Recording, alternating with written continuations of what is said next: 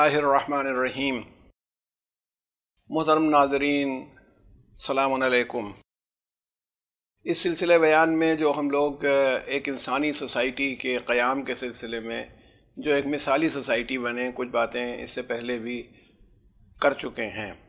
आज उसी बात को आगे बढ़ाते हुए ये कहना चाहता हूँ कि गौर कीजिएगा कि कोई भी समाज जो बनता है उसके अंदर जब तक वैल्यूज़ की हिफाजत करने का या कदरों की हिफाजत करने का निज़ाम नहीं होगा, तब तक वो निज़ाम या सिस्टम आगे नहीं चल सकता है।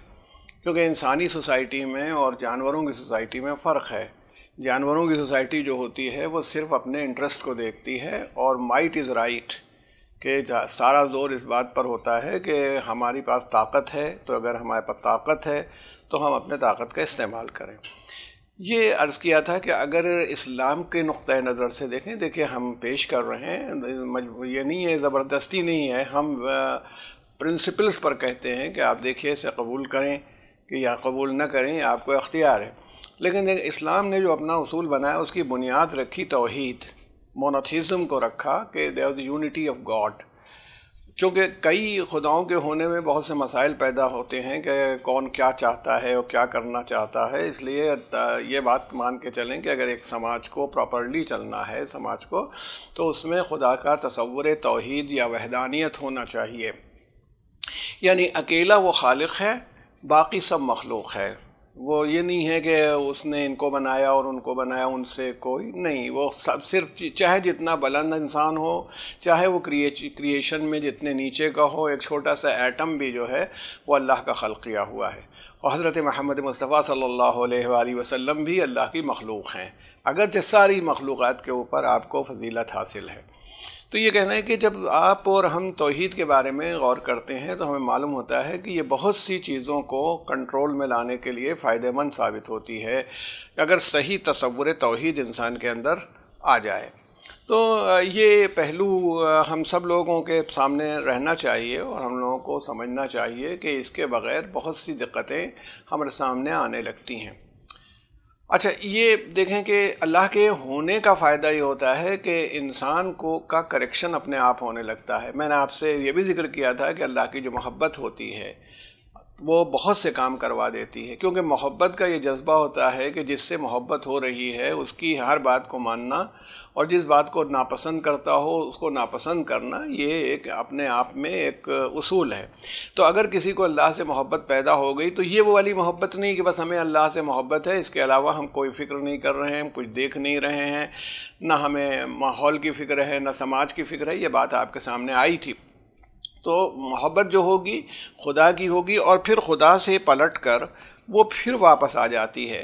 और वापस आने के बाद वो खुदा की जो जितना क्रिएशन है अल्लाह ताला का, जित जो जो चीज़ बनाई है, सब चूँकि अल्लाह की है तो सबसे बंदे को मोहब्बत पैदा हो जाती है।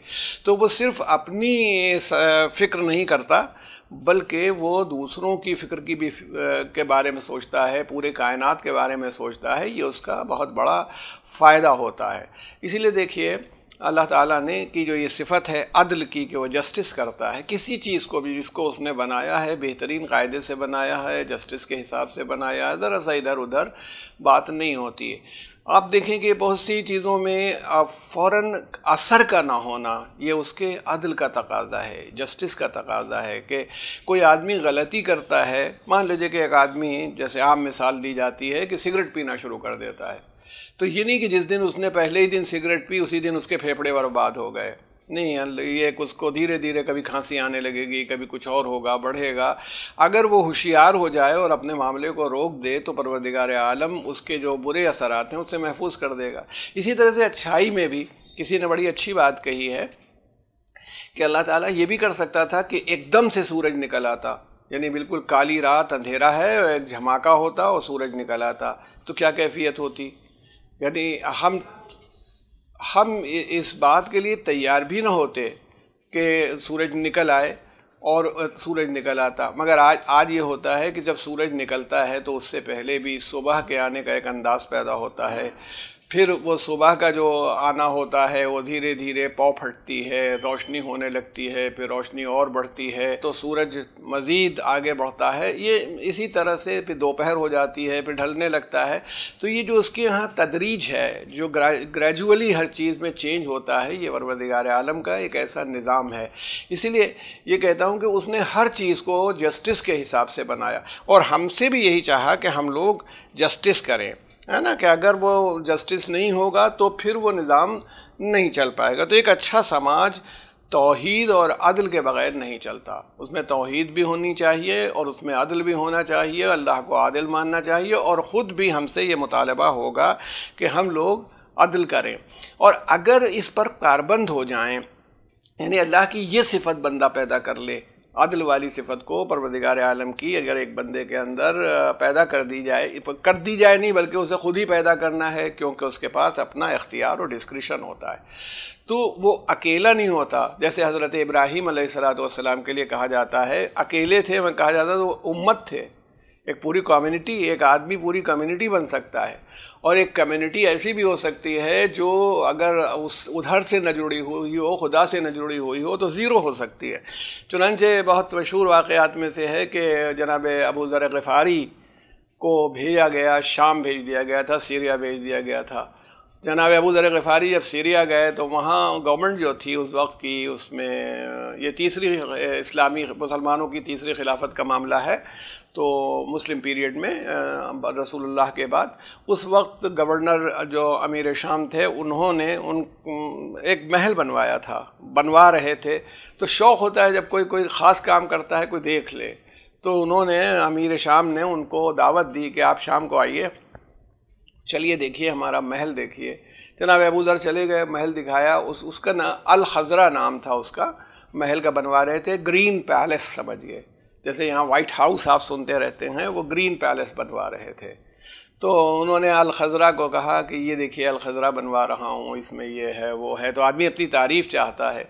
हज़रत अबू ज़र गफ़ारी ने यह कहा कि अगर तुम अपने माल से बनवा रहे हो, तुम्हारा अपना ख़र्च हो रहा है इसमें तो ये इसराफ़ है।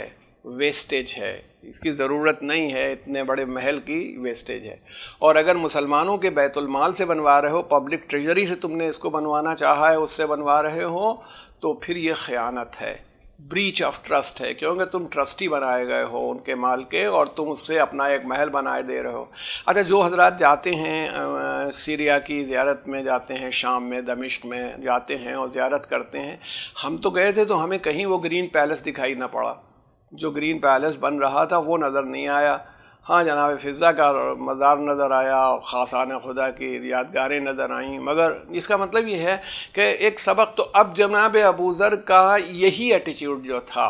एक आदमी के गवर्नर को ये लिखना पड़ा सेंटर को कि अगर ये रहेंगे तो फिर हमारी हुकूमत नहीं चल सकती। अगर इनको यहाँ ही, यहीं रखा जाएगा तो ये हुकूमत फेल कर जाएगी। इसलिए या तो इनको बुलवाइए और नहीं तो भाई हम तो नहीं रह सकते यहाँ पर और ना हम काम कर सकते हैं। नतीजे में जनाब अबू ज़र गफ़ारी को वो पूरा वाक़ है कि बुलाया गया और कैसी सख्ती उनके साथ की गई। लेकिन मैं ये कहना चाहता हूँ कि एक आदमी भी ऐसा हो सकता है जो पूरे सिस्टम को हिला के रख दे और उसको सही धारे के ऊपर लाने की तोफ़ी और सलाहियत रखता है। इसके लिए कोई ज़रूरी नहीं कि पूरी एक कम्युनिटी जब तक खड़ी ना हो जाए, तब तक कोई काम नहीं होगा। तो इसलिए इंसानों से ये चाहा जा रहा है। अच्छा फिर वो आदमी भरोसा रखता है कि मुझे, मेरा रब मुझे देख रहा है, मेरा खुदा मुझे देख रहा है। उसका मिजाज बन जाता है ऑनेस्टी का, उसका मिजाज ईमानदारी का, उसका मिजाज मदद करने का, ईसार का, ये तमाम सिफात उसके अंदर अपने आप पैदा होने लगती हैं। तो यूँ अगर हम लोग देखें कि अच्छा देखिए, बहुत सी चीज़ें हैं करेक्शन के लिए अल्लाह ताला ने तोहद में ये बात रखी, अपने अदल के साथ, अपने फ़ज़ल और अपने मरसी, अपनी मरसी को भी रखा है, कि अल्लाह ताला का अदल जो है, वो अपनी जगह पर है जस्टिस अपनी जगह पर है, लेकिन उसका फ़ज़ल है। तुमने गलती की थी, दुनिया में अगर आप, मैं ये कहता हूँ कि अगर लाख में कहूँ कि साहब, मैं, मुझसे गलती हो गई थी और मैं थाने में जाकर लिखाऊँ, मैंने ये ये जराइम किए थे, मुझसे गलती हो गई और मैं तोबा करता हूँ, आइंदा अब ये सब नहीं करूँगा। तो वो तो तोबा वबा तो बाद में होगी, वो पकड़ के पहले अंदर करेंगे, बंद करेंगे, देखा जाएगा। तो इसका मतलब यह है कि दुनिया वाले जो हैं, वो इस कॉन्सेप्ट को या दुनिया का जो समाज है, नहीं मानता। मगर परवरदिगार आलम का जो समाज, जिस समाज की तश्कील कर रहा है, उसमें कह रहा है कि अगर तुमसे कोई गलती हो गई, ख़ता हो गई है तो तुम मुझसे तौबा कर लो, मुझसे मगफ़रत की मांग कर लो। हम उसे ऐसा मिटा देंगे जैसे कभी नहीं था। लेकिन जैसी तौबा होनी चाहिए, वैसी हो। मैं एक कॉन्सेप्ट दे करके अपनी बात को आज ख़त्म करूँ कि हमारे यहाँ एक पूरा कॉन्सेप्ट है रद्द मजालिम का, शरीयत में। कि किसी ने अगर किसी का कोई हक़ लिया है, किसी ने किसी, देखिए, एक बात है, जिस जग, जिस सोसाइटी के अंदर एक दूसरे के राइट्स का ख्याल नहीं होगा और अपनी ड्यूटीज़ की फ़िक्र नहीं होगी, वो सोसाइटी एक मिसाली, इंसानी सोसाइटी नहीं बन सकती। आइडियल परफेक्ट सोसाइटी बनने के लिए ये होना चाहिए कि हर आदमी अपनी ज़िम्मेदारी का लिहाज करे और दूसरे के हक़ का ख्याल रखे। अगर सब लोग ऐसा करने लगेंगे तो हर आदमी का हक़ महफूज हो जाएगा। क्योंकि दुनिया समाज इंटरडिपेंडेंस से चलता है। मेरा हक़ आपके ऊपर है, आपका हक़ मेरे ऊपर है। किसी का हक़ किसी के ऊपर है माँ का हक़ बच्चों पर है बच्चों का हक़ जो है वो अपने माँ बाप पर था जब वो छोटे थे। तो ये पूरा एक निज़ाम है जो चलता है। तो अगर कोई आदमी कोई गलती कर दे जैसा मैंने आपसे कहा तो अल्लाह ताला कहता है मैं माफ़ कर दूँगा। मगर ये माफ़ी आ, मैं अर्ज़ करना चाहूँ ये ठीक है कि कहा गया कि अगर नमाज़ असर के बाद सत्तर मरतबा अस्तफ़रल्ला रबी व तू बोले कहो तो ये फ़ायदा है। और ये शायद फरमाया गया कि तीन मरतबा अगर ये कोई कहे, मासूम ने कहा बसमीम अस्तफ़रल्लाम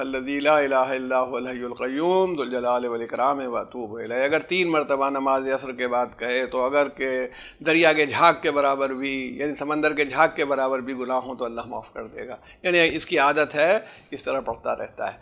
लेकिन ये याद रखिए कि हर चीज़ जो होती है, वो कंडीशंस के साथ होती है। इमाम ने यह कहा तो इसका मतलब नहीं कि गुना, खूब शरारतें कोई आदमी करता रहे, खूब गुनाह करता रहे, और उसके बाद दरिया के झाग को की तरह से उसको ख़त्म करने के लिए बैठ करके तीन मरतबा ये दुआ पढ़ लें।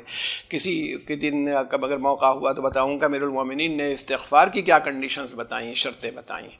तो जब ये बात आई आ रही है तो मैं कहूँगा रद्द मजालिम का एक कॉन्सेप्ट है। रद्द मजालिम का ये कॉन्सेप्ट है कि अगर किसी का कोई हक़ हमारे ज़िम्मे है। तो तौबा खुदा से भी होगी और उससे भी माफ़ी मांगी जाएगी और उसको उसको, उसका कंपनसेशन करना दे, देना पड़ेगा। हमें, मसलन मैंने किसी आदमी का माल लिया था और वापस नहीं किया, कर्ज़ लिया था, वापस नहीं किया। और अब मैं समझता हूँ, अपनी जगह पर शर्मिंदा हूँ कि मैंने नहीं दिया। तो चूँकि मैंने लेट किया है, इसलिए मुझे उससे माफ़ी भी मांगनी पड़ेगी। माफ़ी मांगने के साथ साथ मुझे उसका कर्ज़ वापस भी करना होगा। ये दोनों बातें मुझे करना पड़ेंगी, ये एक उसूल है। तो कहना ये है कि ये कहलाता है रद्द मजालिम। अच्छा अब एक सूरत ये है, रद्द मजालिम में, यानी एक तो था कि मैं उसे वापस कर चुका। एक ये है कि मुझे वो आदमी नहीं पता। मैं एक ज़माने में स्टूडेंट था, जब पढ़ता था तो इलाहाबाद में रहता था। अब इस वाक़े को चालीस साल, पैंतालीस साल हो गए। मैंने किसी से कोई कर्ज़ लिया था, पता नहीं वो आदमी कहाँ चला गया, कहाँ है, मुझे ख़बर भी नहीं उसकी। अब मुझे होश आया कि मैं उसे वापस कर दूँ। परवरदिगार कहता है कि अब भी तुम कर सकते हो। मैंने उस वक़्त उसे पाँच सौ रुपये लिया था। है? ये मैं क्या करूँ? मैं इसको उसकी तरफ़ से सदका करूँ। चैरिटी में दूँ कि पालने वाले, मैंने इस आदमी, एक आदमी से जो फ़ला फ़ला था, या मैं तस्वुर में है कि मैंने उससे मदद ली थी, मैं उसको ये वापस कर रहा हूँ। और जो मैं ये वापस कर रहा हूँ, ये अगर वो मुझे मिल जाएगा, वो शख्स तो दोबारा उसको भी दूँगा।